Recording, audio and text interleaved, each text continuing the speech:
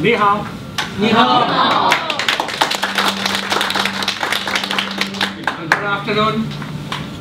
Welcome to Prince George's County and the Prince George's County Economic Development Corporation. And we, and we also have your host, Mr. James Coleman, President and CEO of the Economic Development Corporation. 啊，那么这位当中这位呢，那个叫呃郭面先生呢，他是就这个局的那个负责人哈。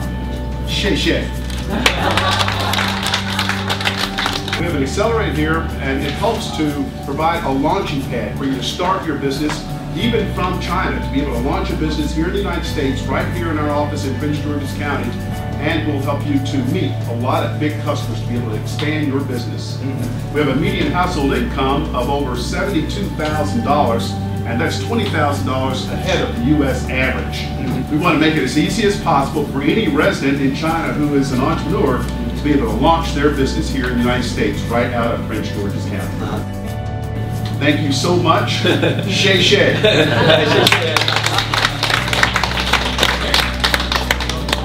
Mr. Mayor, it's been a pleasure having you here today with your delegation, and we look forward to you coming back soon. And we look forward to coming to Shanghai again next year. yeah. We will be there. We were just there about four weeks ago, and we look forward to coming back. We'd love to see you then next year. 啊，他他那个呃，我们也是非常高兴能够到这里来访问，因为上海是一个非常开放的城市，也是中国现代化最高的一个城市。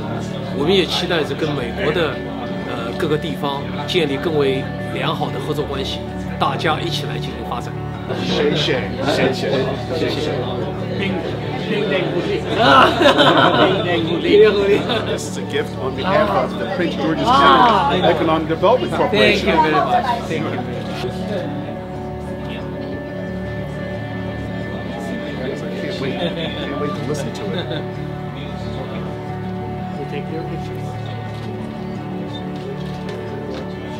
我去生病。哈哈哈哈哈！